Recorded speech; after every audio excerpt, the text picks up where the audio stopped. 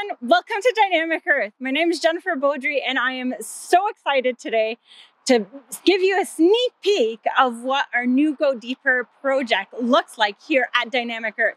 Now, you might be saying, Dynamic Earth? Really? Surrounded by trees? Yep.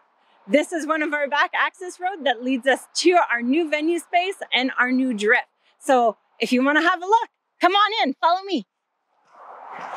Now that was a nice walk, wasn't it? Welcome to our site. This is the construction and excavation site of the future home of our new multifunctional venue space, as well as our new modern mining drift. This is an active construction site. There's lots of equipment behind me, big machines moving around all the time, and amazing people that we're working with to make sure that we're going to have a fun, a beautiful, and also a safe venue for all of our visitors. Isn't it lovely?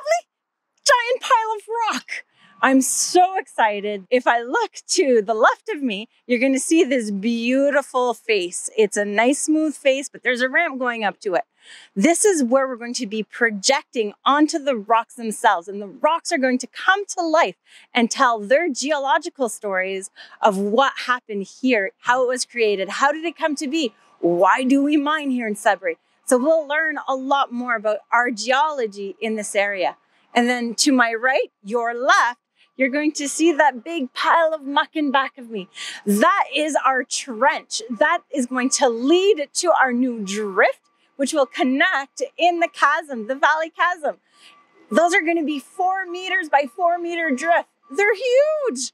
And that's where we're going to tie in. So exciting. So many cool things happening on our site. It's been such a blasting experience.